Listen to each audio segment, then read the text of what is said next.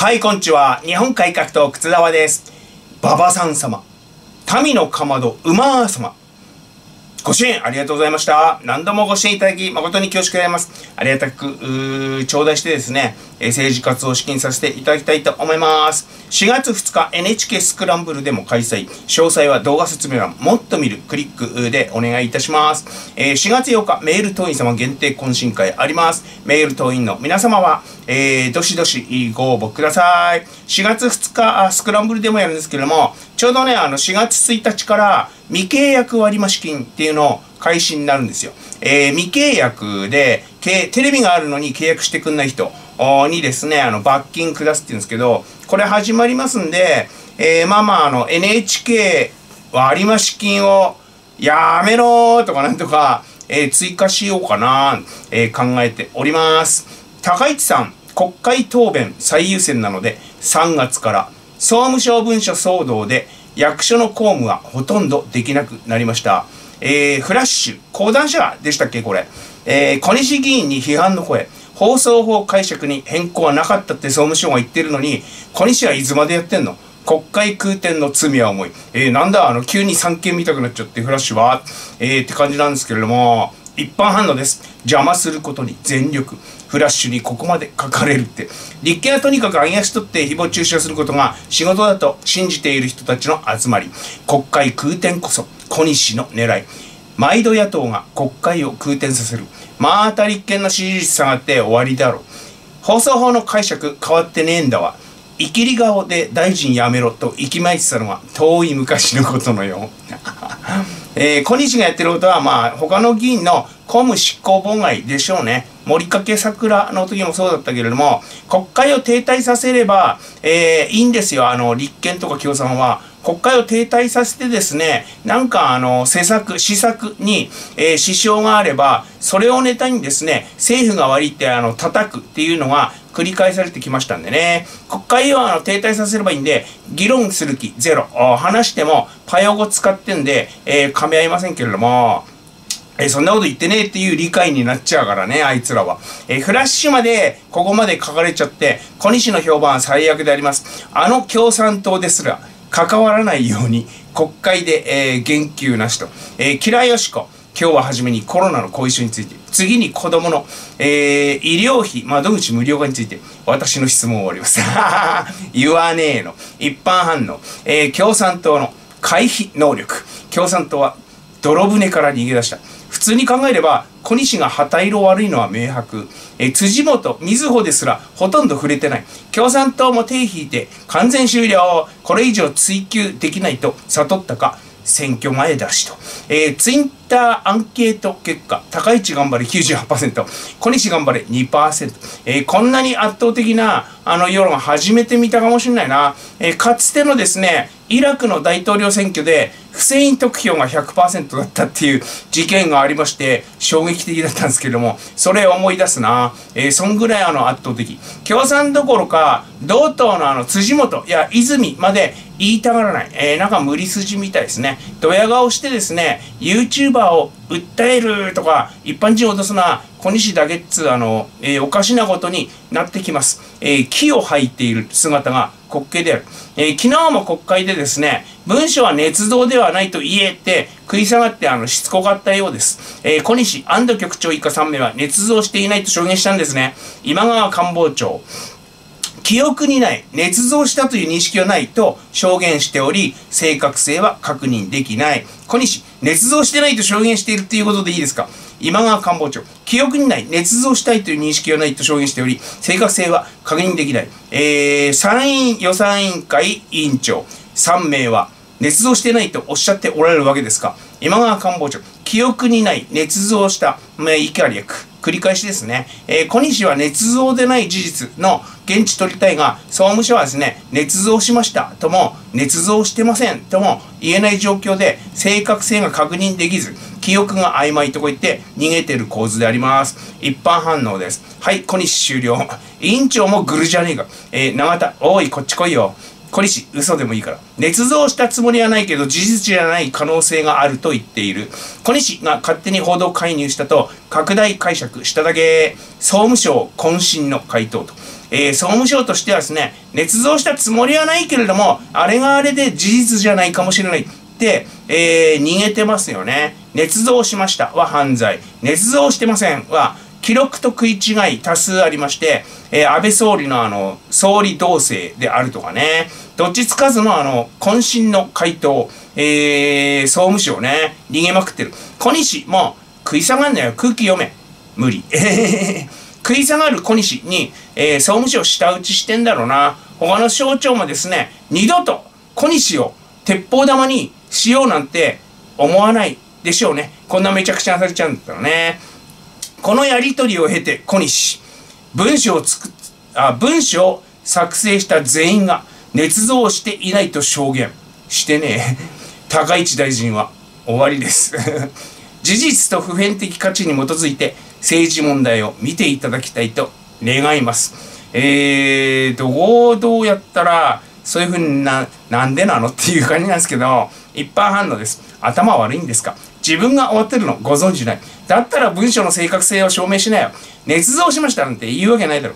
捏造してないなんて誰も言ってないですけど、レクがなかったという声多数あり不正確な文章って言ってたけど、えー、文章を作成した全員が捏造していないと証言はしていません。記憶が曖昧で不正確かもって言ってます。えー、小西さん、あ、嘘つくのやめてもらっていいですか？高市大臣は終わりです。えー、98対2で高市さん圧勝なのに、えー、自己紹介落つ。終わってんのは小西ですね。共産党にすら見放されてんの知らないんだが強がってんだがね。えー、事実と普遍的価値に基づいて政治問題を見ていただきたい。それ一番やらないといけないのは小西では事実、事実、事実じゃないこと、あのー、吠えまくって、相変わらず滑稽だな。えー、パヨゴので日本語聞くと、こう聞こえるのか、ただ単にどうしようもなくバカなのか、あるいはその両方かと、えー、とにかく、すごいなっていう感じです。何がって感じなんですけどね。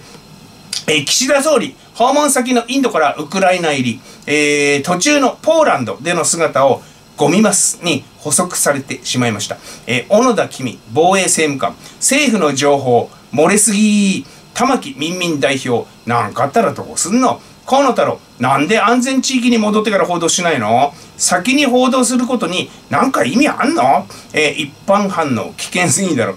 秘密なんだからバラすなよ。ほんとこれ、バカゴミます。えー、バカじゃねえの？なんで報道させてんの？総理を危険にさらすゴミます。えー、自国の総理の動向を逐一敵国にご中心ばらされてて電撃訪問じゃねえ。圧力も何もない自由すぎる報道と。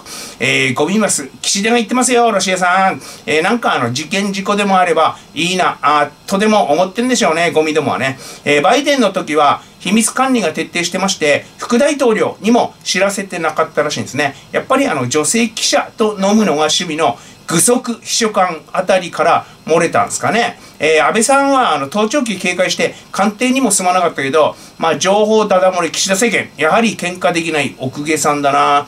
今も小西とやり合ってですね、叩きのめして圧勝してる喧嘩上手上手の高市さんと変わってくれ、早く。うもう早く変わってくれ。朗報です。LGBT 法案先送り。党内意見一致せず、統一戦に悪影響。えー、悪影響あるっていうのは分かってんだ。じゃあやめろよ。バカ。政治家なんだからさ、えー、有権者の意見を優先しろよ。悪影響って分かってんだから、選挙に悪影響って分かってんだったら、やめろよ。誰が推進してんだよ。バカって感じなんですけど、騒いだ会がありました。このまま。頑張って廃案にしましょう。それを受け、経団連徳倉会長、欧米と比べてて恥ずかしい。今時こんなこと言う人いんだ。むしろ差別が増進されるとか、わけがわからない。てめえボケてんのかって感じなんですけども、えー、まだ72なんだけどなえー、よっぽどね、あの、麻生さんの方が頭しっかりしてますよね。一般反応です。えー、欧米は全て正しいのか？お前が恥ずかしいとかどうでもいい。何がどう恥ずかしいんだよ。お前の会社の給料が低いことを恥じろ。えー、住友科学だそうです、この人。LGBT 法による経団連のメリットが何なのかわからん。アメリカですら一部の州だけだぞ。一生先送りしてくれ。えー、経団連ってあの、いまいち何やってるかわかんない団体なんですよね。会長はね、あの、報酬もらうどころか、多大な会費を納める名誉職だそうであります。なんか億、年会費億単位だって聞いたな。会長が一番偉いのかと思ったら、なんかあの、みんなを養う立場で、一番金出さないといけないんで、えー、押し付け合いだそうで、なり手がいない。そうです。えー、なので、あの、経団連会長様のお言葉と、恐れ入る必要まるでなし、むしろ、暇だと思われて会長職を押し付けられたバカぐらいの認識が正解ですね。このおじいちゃんの情報源は、テレビ新聞だけかな。あんまりあの、知られてませんけれども、経団連の本部、大手町にあるんですけど、えー、隣がですね、日経新聞の本社です。だから、あの、経団連の情報源は日経新聞、あとあの、日経新聞の情報源も経団連、そんなような気がします。しますけれどもね、数年前までですね、あの、経団連の会長室にはパソコンなかったそうです。パソコンなかった。えー、だんだん、我々と、こういう人らの情報格差は、凄まじいことになってるな。えー、LGBT 法で、経団連はなんかメリットあんの？むしろ、LGBT を一定数雇用しないといけないとかになっちゃって、えー、企業にとって面倒なんでは ?72 歳になってもですね、このね、いい人ぶりたいとか、頭いい人に見られたいっていう欲求には逆らえないんでしょうかね。でね、あの、すげえお金出して、会長に収まって、えー、なんかあの、満足してるって、えー、それあの、損してっかんな、お前。人に認められたいってまだ思うのがね、72歳になってね。それともですね、あの、このおじいちゃん自身が、心は女って言って、女風呂に入りたいんでしょうかね。欧米に比べ、遅れてるんでなく、日本以外が間違ってんですわ。間違ってんの。えー、EU で、電気自動車だけにするわって、高らかに宣言しまして、2030年までね。で、あの、トヨタがですね、それはちょっと賛同できない言ってたのはですね、最近あの、ドイツとイタリアがですね、やっぱ無理だよなって言い出してまして、えー、あとですね、いい人ぶりたくて、えー、移民をですね、5%ほど受け入れちゃった。えー、人口の5%ぐらい移民受け入れちゃったスウェーデン。えー、スウェーデンがですね、たちまちあの、世界第2位の50犯罪。えー、女性をですね、無理やりする50罪が世界にな2位になっちゃいました。ああ、いい人ぶりたい一部のバカのせいで、えー、5%ぐらい移民受け入れると、そうなっちゃうんだよって。えー、見本ですよね。えー、ですんで、あの、日本以外が間違ってんだわ。えー、難民認定日本は厳しいじゃないですか。日本を見習えて、欧米みんな言ってるよ。